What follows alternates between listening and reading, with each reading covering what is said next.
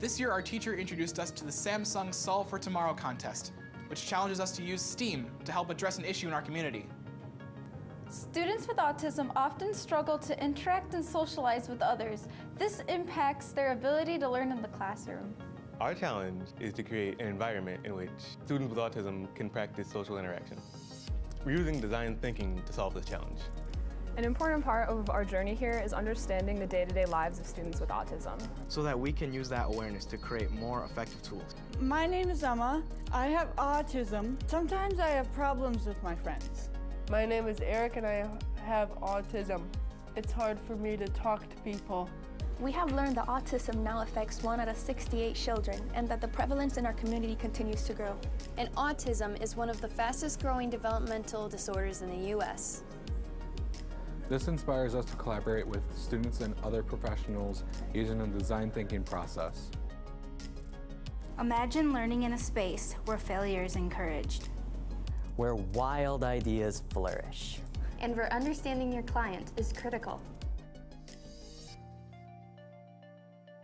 Through collaborative efforts with our peers, we develop different variations of a prototype that helps us accommodate different learning styles.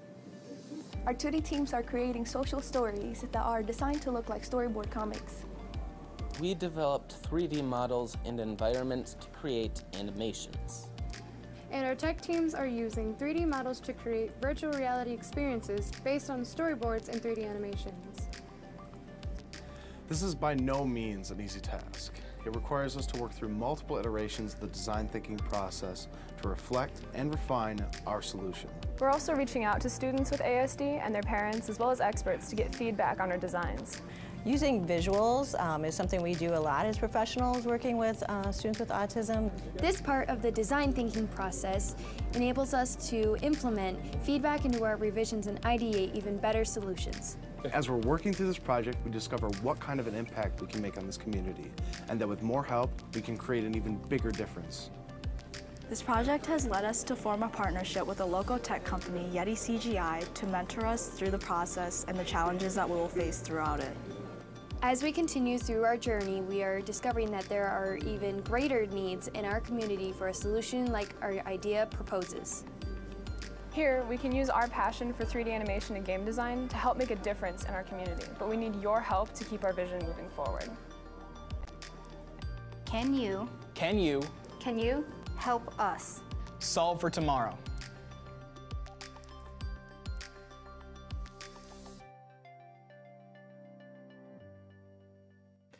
Welcome back to Autism Live and Let's Talk Autism with Shannon and Nancy. Joining us right now from Grand Rapids, Michigan and the Kent Career Tech Center, we've got Marc Petz, who is an amazing educator who helped.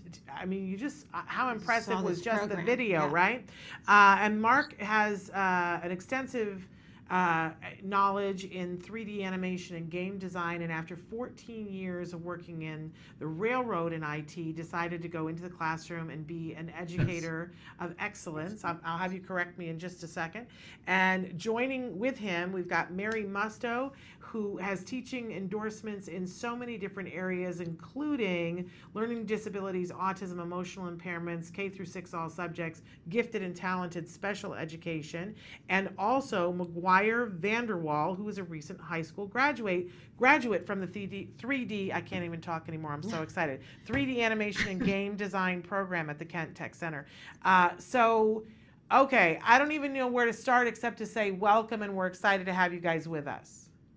Yeah, thank you for having yeah, us on. This is fantastic. Tell us about the, the Kent Tech Center. What is that Career Tech Center? What is that all about? The Kent Career Tech Center is a, um, a school where um, there's different school districts or schools within the, the county that, that send their juniors and seniors to this center to learn um, job skills training, get them prepared for the workforce, or um, and many of them uh, get some college education and will then go on to college. So there's a lot of like job skill training, the skilled skilled trades that that um, get taught here. Okay.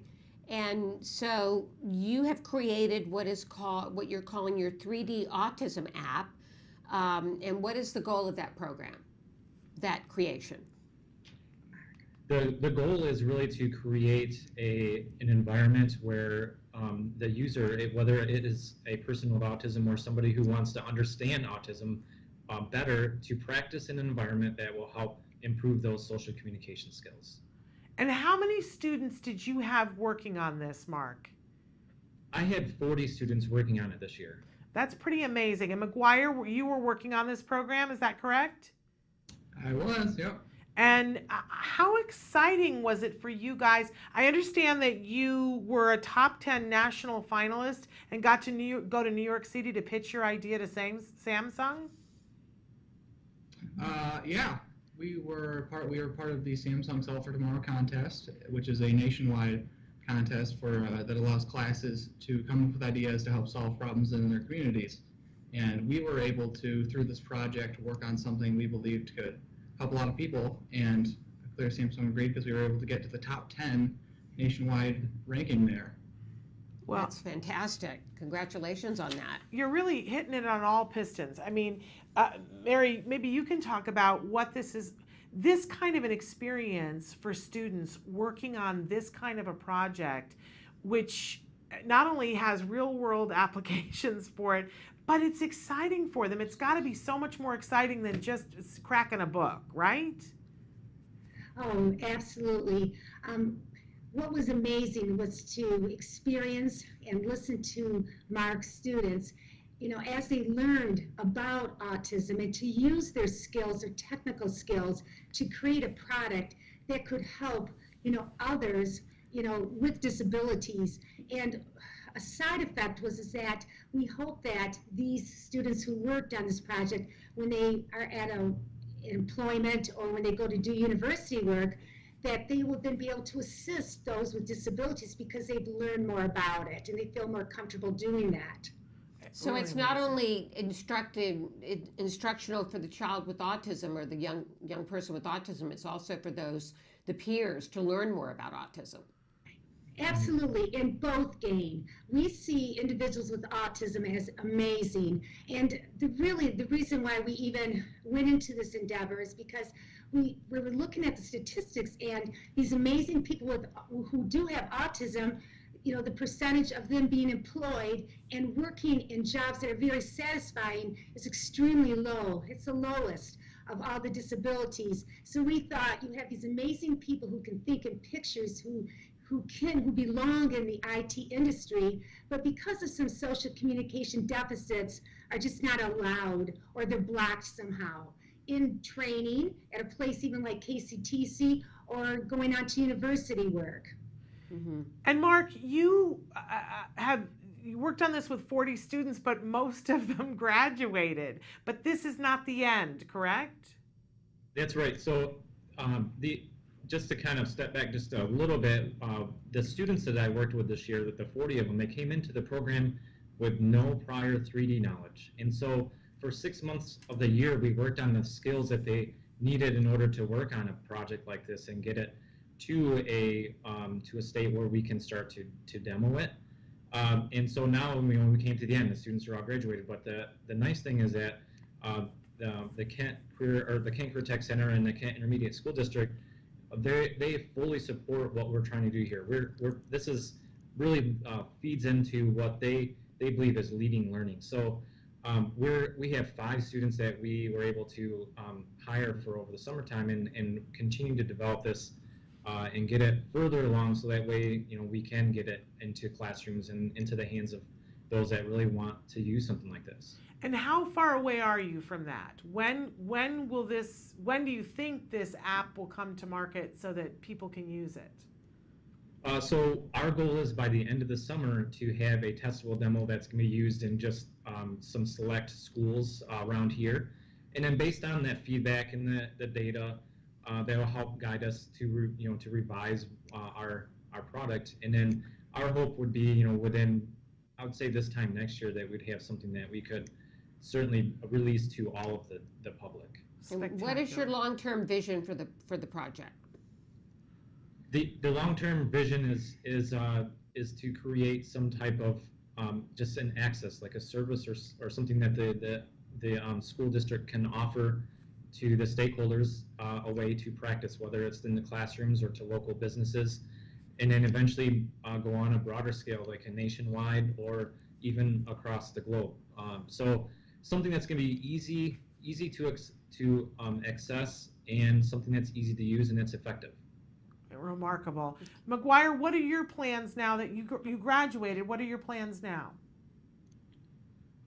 Uh, well, I'm actually one of the five students selected by the district to uh, to help continue this project during the summer. So hopefully, my, my main goal right now is to be able to uh, finish up that demo that we're set to finish by the end of the summer, so that we can keep working on this project throughout the school year. Great. Remarkable.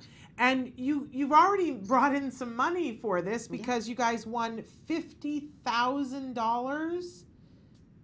Talk about what Yes. what that enabled you to do.